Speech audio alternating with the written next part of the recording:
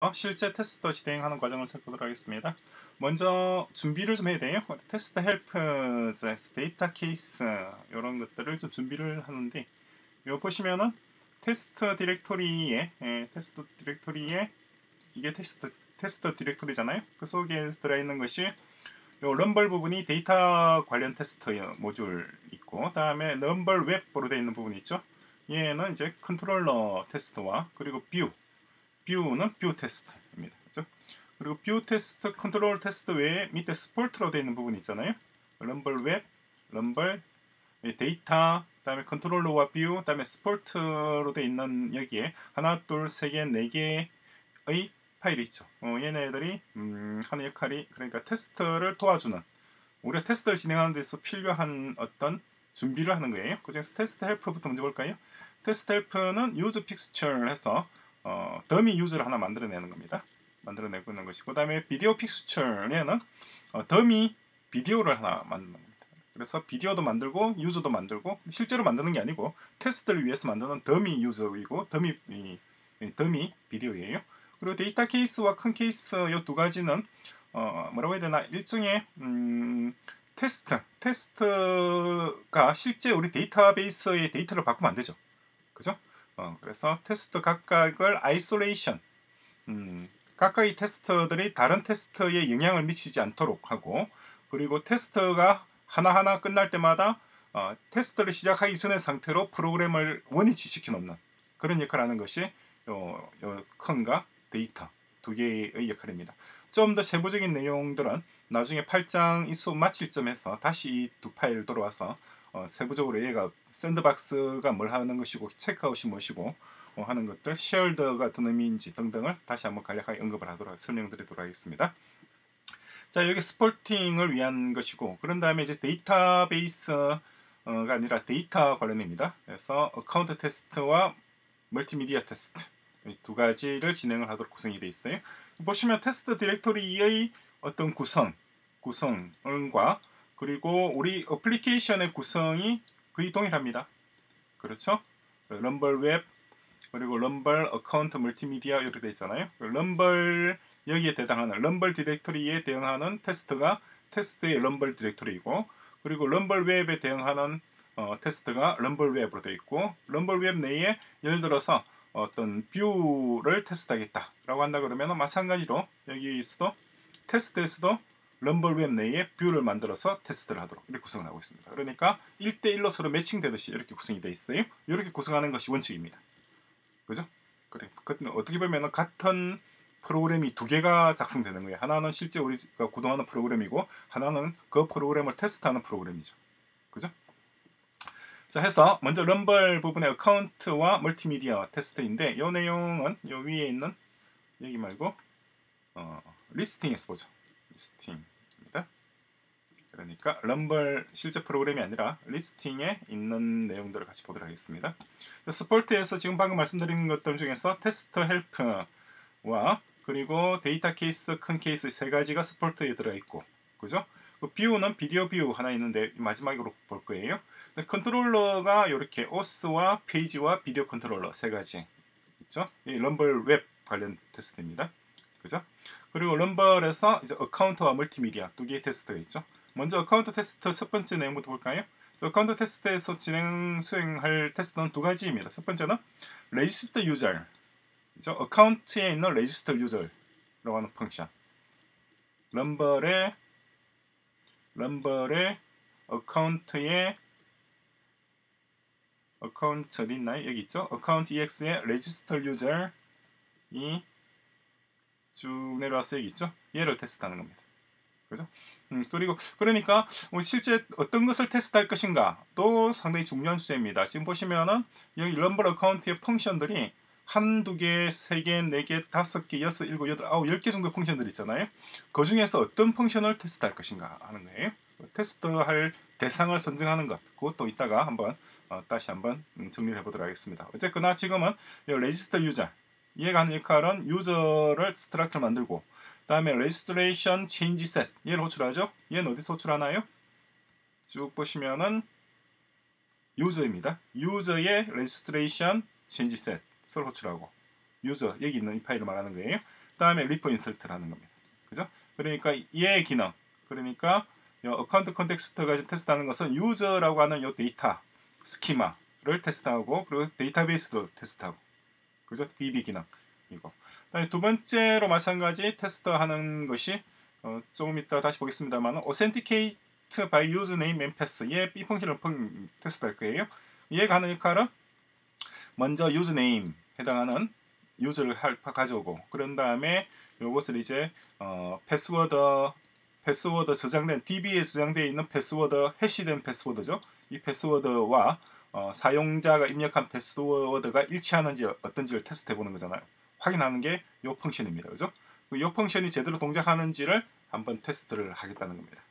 어떤 의미인지 이해가 되시죠? 그래서 첫 번째 내용입니다. 그래서 register user 이 기능을 register user의 function의 기능을 테스트하기 위해서 describe에서 이렇게 do, describe do 블럭을 해서 테스트, 테스트, 테스트 쭉 들어가 있어요. 이건 어떤 의미냐니까 음, 비슷한 종류의 테스트들을 하나의 블럭으로 묶어 놓은 거예요. 그 묶어 놓은 것이 describe입니다. 얘는 그냥 블럭이에요. 특별한 의미가 있는 게 아닙니다. 그냥 블럭이에요. 하나의 블럭으로 묶어 놓은 거. 그죠? 그래서 두 번째 블럭이 어디 있나요? 얘는 지금 얘 하나만 있네. 예. 일단 첫 번째 수정 내용입니다. 그래서 register user 이 기능을 테스트하는 것 첫 번째 with valid data insert user 그래서 요 내용입니다. 이 내용을 이걸 뭐 하나씩 하나씩 제가 다 뭐 말씀드리는 것보다는 간략하게 그냥 언급을 하겠습니다. 그래서 보시면 account register user valid attribute assert assert 기능은 이게 오른쪽에 있는 것과 왼쪽에 있는 필드의 값이 같다는 것을 확인하는 겁니다. 그죠? 그래서 먼저 먼저 이렇게 valid attribute이라고 해서 이런 하나의 맵을 하나 만들어 뒀어요. User eva script 만들어 뒀습니다. 그리고 invalid attribute는 이렇게 구성됐습니다. register user에서 얘를 넣었을 때는 제대로 register가 되고 얘를 넣으면 register가 안 되도록 그렇게 구성을 하는 거잖아요. 어떤 의미인지 이해되시죠? 그래서 요거 결과와 확인하고 결과 확인하고 확인하고 확인하고 그죠? 그리고 ID 이 아이디가 여기 있는 이 아이디와 같은지 얘와 얘를 비교해 보는 겁니다. 그리고 이 valid data set으로 테스트한 것 invalid data set으로 테스트했을 때는 얘는 account list users를 했을 때 얘가 nil이 나와야 되겠죠? 당연히 테스트하고 다음에 어, enforces unique username 해서 username이 중복되지 않도록 제대로 처리하는지 확인하는 겁니다. 그죠? 그래서 valid user 해서 넣고 두 번째 동일한 것을 넣었을 때는 에러가 나오도록 에러가 나오는지 확인하는 겁니다. 그죠? 그리고 에러 메시지 에러 메시지가 요것인지 또 확인해 보는 겁니다. 그죠? 에러 메시지 에러 메시지로 확인하는 기능이고 그죠? 그리고 얘는 뭐예요? 얘는 이렇게 두 번 같은 username을 두 번 넣었을 때 원래의 username이 변함없이 유지되고 있는지를 확인하는 겁니다. 그죠? 깨져버리면 안 되겠죠? 그것이고. 다음에 어, long 유저네임. 유저네임이 너무 길면은 reject 하는지 그걸 확인해 보는 거예요. 이건 뭐 달리 제가 설명드릴 내용이 따로 없죠. 읽어보시면 바로 이해가 되실 겁니다. 이렇게 테스트 한 번이 아니라 하나 더 하는 거예요. register user 외에도 조금 전에 말씀드린 것처럼 authenticate by username and pass 또 있죠. 이것도 마찬가지. 패스워드 1, 2, 3, 4, 5, 6을 넣어주고 그죠? setup해서 먼저 이렇게 setup을 했습니다. setup의 기능은 뭐냐니까 테스트를 진행하기 전에 미리 어떤 일련의 데이터를 만들어 놓는 것이 setup이에요. 그래서 유저, 유저 픽스처 패스워드를 넣어서 패스워드를 넣어서 유저를 만들어 놓는 것이 setup 단계예요. setup에서 만들어진 데이터는 테스트에서 쓸 수가 있습니다. setup에서 유저가 만들어졌으니까 유저를 여기서 쓰는 거예요. 그죠?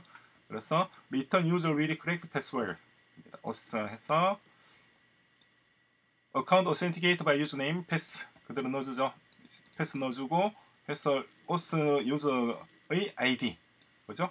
얘의 ID가 이 유저의 ID와 같은지 확인해 보는 겁니다. 어떤 의미인지가 되시나요? 다시 말씀드릴게요. 현재 유저에서 패스워드를 이렇게 패스워드를 넣어서 유저를 하나 만들었습니다. 그죠? 유저를 만들었고 그런 다음에 음, 이 username 이 유저의 이름과 패스워드를 통해서 그 유저를 불러오는 거예요. 데이터베이스 불러와서 여기 오스 유즈에 담았습니다. 그죠? 그러니까 데이터베이스 불러온 얘와 그리고 우리가 만든 얘, 저장한 얘는 같아야 되겠죠. 그죠? 왜냐하니까 얘를 만들어서 우리 DB에 담는 거잖아요. 그죠? 그것이 맞는지 확인해 보는 겁니다. 그죠? 그리고 invalid 패스워드, 패스워드를 잘못 넣었을 때 에러가 나오는지 확인하고 그리고 어, 이메일, 그죠? 이메일 not found error with no matching user for email. 특정 이메일에 대해서 어, 대응하는 유저가 없을 경우에 어, found error가 나오는지 found, 그죠? 그러니까 어, 없는 사용자입니다. 그래서 사용자가 없다 이 말이죠. 사용자가 없다는 것을 제대로 어, 고지하는지 그것을 확인해보는 테스트입니다. 이게 account 그러니까 테스트이고 멀티미디어도 마찬가지입니다. 멀티미디어에서 다루는 것도 카테고리예요. 비디오 카테고리에서 어, 첫 번째 보시면은 alphabetical category list alphabetical category입니다. 그래서 드라마, 액션, 코미디 얘를 넣었을 때 이것을 넣었을 때 리스트 alphabetical 카테고리 했을 때는 액션, 코미디, 드라마 순서가 되는지 확인해 보는 겁니다. 그래서 alphabetical하게 알파벳 순으로 정리가 제일 되는지 확인하는 것이 첫 번째 테스트이고 두 번째 테스트는 마찬가지 여기서 비디오 부분입니다. 비디오 부분에서 볼까요? 어떤 내용인지 먼저 valid attribute에서 이런 유효한 비디오 struct이죠. 그다음에 무효한, 유효하지 않은 비디오 struct 두 가지 struct를 만들어서 그죠? 리스트 비디오 먼저 리스트 비디오가 모든 비디오를 다 리턴하는지 확인해 보는 겁니다. 리스트 비디오는 사용자, 그 비디오를 만든 사람이 누구든 상관없이 데이터베이스에 저장되어 있는 모든 비디오들을 다 보여줄 수 있어야 돼요. 그래서 그래서 오너 user fixture에서 오너 하나 만들고 그죠? 이 오너에 의해서 비디오를 하나 또 만들고 그죠? 비디오 fixture 오너에서 만들고 그때 아이디 1 비디오의 아이디 이 구성이 되죠. 비디오 fixture니까 다음에 멀티미디어 리스트 비디오에서 비디오 아이디가 아이디 일치하는지 지금은 비디오 하나밖에 없죠. 여기서 그죠? 이 친구가 만든 비디오 하나밖에 없으니까 그 당연히 불러오면은 그 걔가 걔가 되겠죠. 리스트 비디오하면 하나만 리턴 될 것입니다. 하나만 리턴 되는 아이디가 이 아이디가 이 아이디와 같아야 되겠죠. 두 번째 비디오는 비디오 fixture가 또 다시 또 만든 거예요. 또 만들어서 이번에 아이디가 2가 되었습니다. 2였으니까 이번에 불러오게 되면 비디오가 하나, 두 개가 리턴돼야 되겠죠.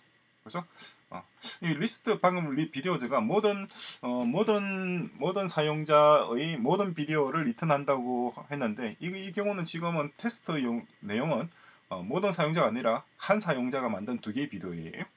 그죠?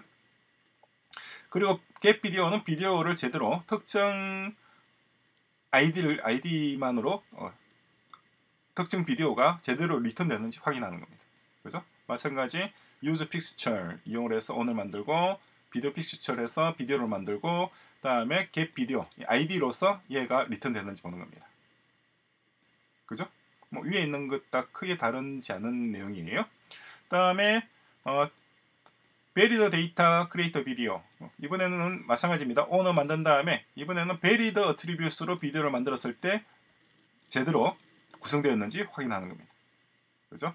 타이틀과 description과 URL이 제대로 입력되는지 확인하는 것이고 그리고 만약에 invalid 데이터 invalid 데이터를 구성하면 어떻게 되냐는 거죠. create 비디오에서 invalid 데이터를 했을 때는 Ecto changeset 에러? 에러 중에서 Ecto changeset 에러가 나오는지 확인하는 겁니다. 왜 Ecto changeset이 에러가 나오는지는 요 create 비디오를 보시면 이해가 되실 거예요. create 비디오 function을 보시기 바랍니다. 다음에 업데이트 비디오에서 어, 업데이트 valid 데이터로 업데이트하는 경우입니다. 첫 번째 똑같습니다. 똑같이 만든 다음에 업데이트 비디오가 제대로 동작하는지 보는 겁니다. 그죠? 업데이트 데이터 그리고 다음은 invalid 한 경우 invalid attribute 했을 때는 마찬가지 에러가 발생하고 에러가 발생하고 원래의 비디오는 업데이트가 되지 않았으니까 원래의 데이터를 그대로 유지해야 되겠죠. 원래의 데이터를 유지를 그대로 하고 있는지.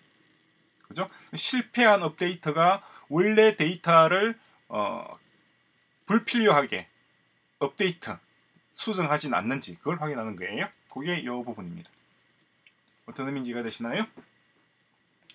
다음에 delete 마찬가지 delete가 제대로 동작하는지 그 다음에 change 비디오, 멀티 비디오, change 비디오, Ecto changeset. 그죠? 어, change 비디오가 리턴하는 것이 어, Ecto changeset이죠. changeset이 리턴 되는지 확인하는 겁니다. change 비디오나 업데이트 비디오 업데이트 있나요? 업데이트 비디오나 다 어, 업데이트 비디오도 그렇게 되나요? 다시 한번 볼까요? 업데이트 비디오가 changeset을 리턴했나요? 아니면은 어, 멀티미디어에 여기 있냐? 멀티미디어에서 change 비디오 changeset changeset을 리턴합니다. 그죠?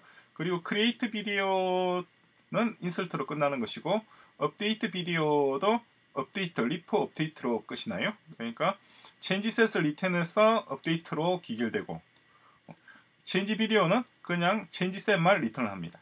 그죠? 그렇게 구성이 되어 있죠. 얘와 얘가 합쳐져서 업데이트나 혹은 어, creation, 비디오 테이블 creation이 이루어지도록 구성되어 있죠. create 비디오도 마찬가지입니다.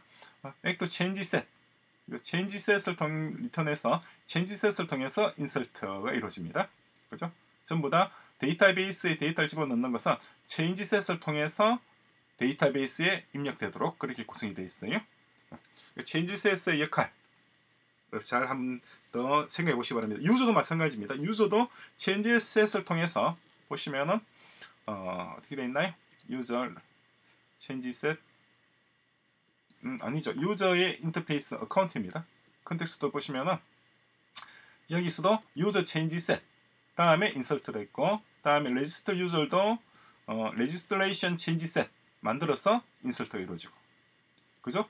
change registration도 마찬가지 registration changeset을 구성한 다음에 예, 그 다음 단계로 이어지도록 그렇게 구성이 되어 있어요. 그죠? 그래서 다 어, 기존의 데이터를 데이터베이스에 데이터를 넣거나 혹은 데이터를 불러오거나 혹은 갱신하거나 수정하거나 할 때는 몽땅 다 이 changeset을 통해서 이루어진다는 거. 어, 딜리트 할 때는 상관없죠. 딜리터는 체인지 셋이 필요 없죠. 그냥 지우는 거니까. 그죠? 어, 그 점을 유의하셔야 됩니다.